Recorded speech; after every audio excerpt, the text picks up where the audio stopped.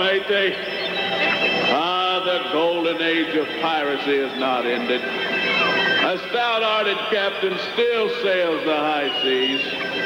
After losing an arm and leg in service, I still terrorize the enemy, the devil. Mighty Christian battlings. I, Captain Hook, aim that all children have full share of God's blessings. Salvation through the blood of God's Son be yours, matey. Every Christian pirate should sail with the Christian flag at high mast. This signals to the enemy, the devil, not willing to give quarter and no mercy. Your vessel, matey. Scuttle those old duds and put ye on the Lord Jesus Christ. Weigh anchor now, ye swabbies. Where be that fascinating treasure? Ah, the treasure be at the altar of salvation. Jesus Christ be the most blessed treasure to be found by wretched man.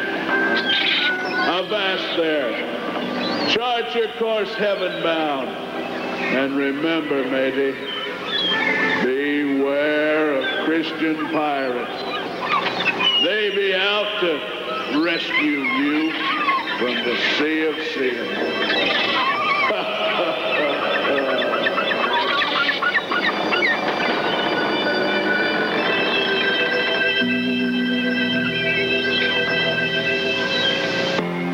April 13th, 1960, in a small town in northwestern Ohio.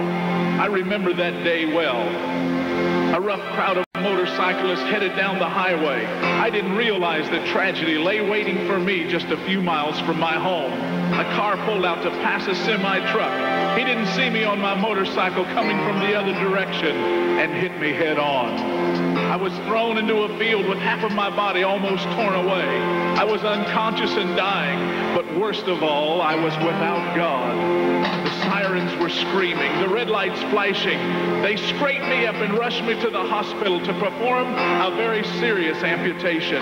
The largest piece of bone in my leg was only two or three inches long. My left arm and leg had to be amputated to save my life. Something happened to me in that hospital room. I accepted Jesus Christ as my Lord and Savior. The Spirit of the Lord tapped on my heart's door. I turned my life over to God. He gave me new hope and determination. And now he's enlisted me to hook boys and girls and to win them because I'm the world's only Christian pirate, Captain Hook.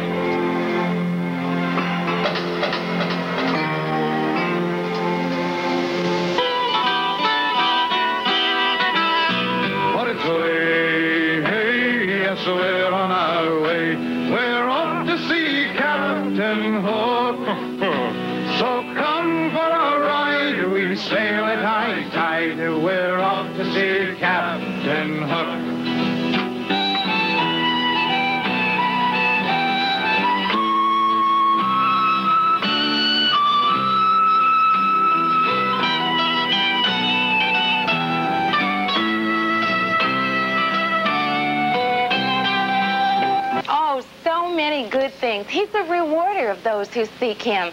Some people think God's a punisher, but you know what we do with child abusers today? We put child abusers in prison if we find out about them. God is not a child abuser. God is a good God. Why don't you just say that out loud with me right now? God is a good God. You always remember that. God is not going to do you harm. There is a judgment coming someday.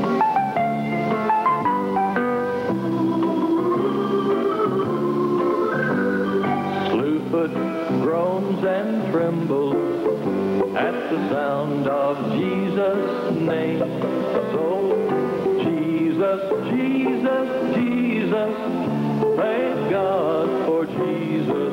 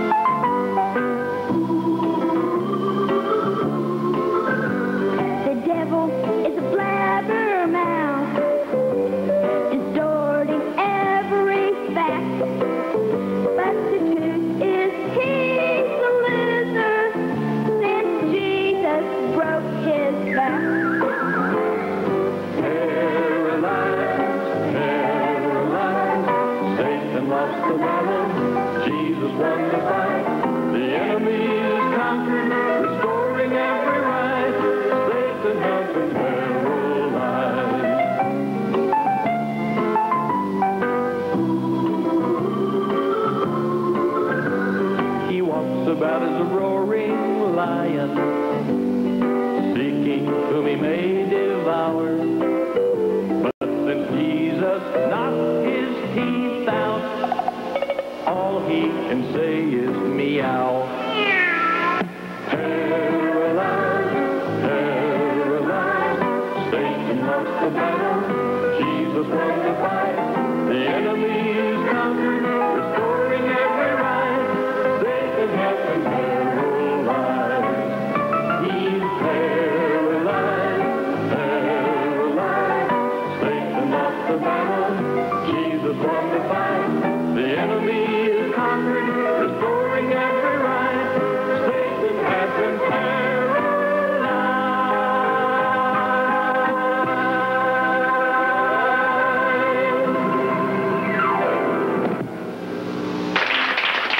Bishop, we're ready to begin this very serious operation. This is called an autopsy. Have you ever seen an autopsy? No. Buddy is the only word to describe. I watched a real autopsy one time. I'd like for you to help me in this very serious operation. We'll have to ask that nobody move around. No, keep it real low. No whispering or talking. You could disturb us, and we'd cut off the wrong thing. Uh, Fishhook, if you'd help me hold up this this sheet. Oh, that's gross, isn't it? You ever seen anything look like that? No, I haven't. This is terrible. Hold it up. Look, look, that hand. Look at that hand.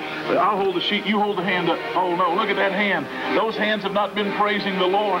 Those hands have not been worshiping God. Those hands have not been clapping in church service. But we need to praise the Lord. And the Bible tells us to praise the Lord. Hold the sheet up. Let's look at his feet. Now, the Bible says, you know what the Bible says about our feet? Share with these friends what the Bible said about our feet. They're blessed. They're blessed.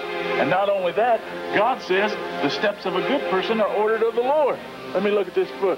Oh, man, look at them feet. Huh? Where do you think them feet's been going? I don't know, Captain. Can you see? Look at that one mark. What's that the mark of? It looks like a beer joint mark, mark to me, don't you? Huh? Yes, it kind of does. Now, these feet have definitely been going places it's not pleasing to God. Now, the Bible says the steps of a good person are ordered of the Lord, and we need to be walking where God wants us to walk. You know, this young man is in very serious condition. Bishop, do you suppose it's his hands? It's caused his spiritual death? Could be. How about his feet? Could very well still be his feet, isn't it? Yes, it could. I'll tell you what, let's move up to the head area. I'm going to hold the sheet. Hey, could you remove that eye? You got your saw? Cut that eye out. I'd like to take a look at the eye because our eyes are very, very important. Uh, got, okay, there. Oh, man. Is that, is that eye swollen? Looks like it. That eye is in bad condition. Now, the Bible tells us that if, uh, if our eyes see something, it's like the window to our soul. And you need to be very careful what you look at and what you see. I'll tell you what, Bishop, remove the ear. You got your saw? I'll cut that ear off of the saw. It's, oh, oh, oh, man. Okay. All right, hold it up here so those boys and girls can see that. Oh, man, this is really eerie.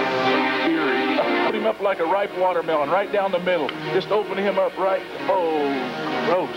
He's got some bad looking stuff in him, don't he? What is that? What is it? Oh, no, a beer can. Hasn't he heard about how drinking beer, wine, and whiskey and all these things, how terrible it is, how it destroys, and children don't have clothes to wear and shoes to put on their feet because of all this stuff? This certainly has no place in the life of a Christian, right? That's right. That's right. Well, what else is in there? Open him up. Just look. Oh, no. What's in there? What is that? What is that? Oh, no. Let me, oh, no. Look at that. Cigarettes. What do cigarettes do to you? Well, they spread black, dirty tar all over your lungs, for one thing. Right. Cause, They cause cancer. cause cancer They cause your fingers to turn yellow. and to cause your fingers to turn yellow. Your teeth to turn yellow. That's right. And besides, who'd ever want to kiss a boy or girl that smells like a camel? not me, that's for sure. This certainly is not good for our temper. For the final part of this operation, Fishhook, I want you to remove the heart. Man looks on the outward appearance, but God looketh upon the heart. This is really serious, boys and girls. The Bible speaks. There's so many scriptures. I researched the Bible concerning the heart one time, and there are so many scriptures. God is interested in your heart about what it's what it looks like. Pull that heart out, Bishop. We're going to take a look. Oh no. The wages of sin is death. But the gift of God is eternal life through Christ Jesus. Only God can take care of the heart. We can take care of the outward appearance, but God is the one that changes the heart. And he can come into your heart and cleanse it and make it pure and white and clean. And God is the best friend that you could ever have because he's a heart changer. He's a life changer. He can take that old cant disease and get it out. He can clean up your hands and your eyes and your ears and your entire body because the Bible says that your body is the temple of the Lord and we needed to offer it to him.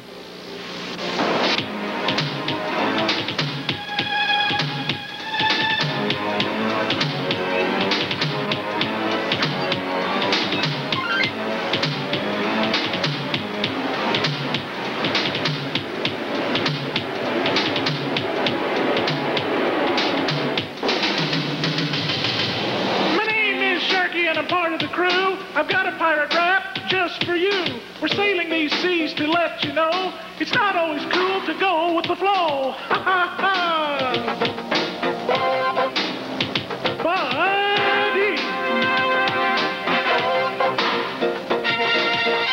My timbers, let's take a look.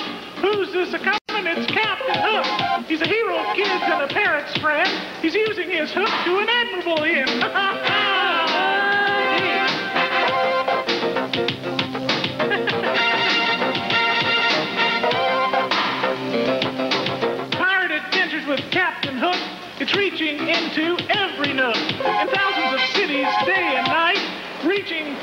The gospel light. Ha ha ha ha! Sharky to Shark, shark, shark. He docked our ship here in city for more info as first mate Smitty. Captain guides to our goal. He's the pilot of the ship and the master of the soul. Like a mighty fleet of ship, we move legion strong. Sailing on the more shores, won't you come along? We are not divided, we are in a sea, able to withstand the dangers of the sea. Look at all these cute girls. Now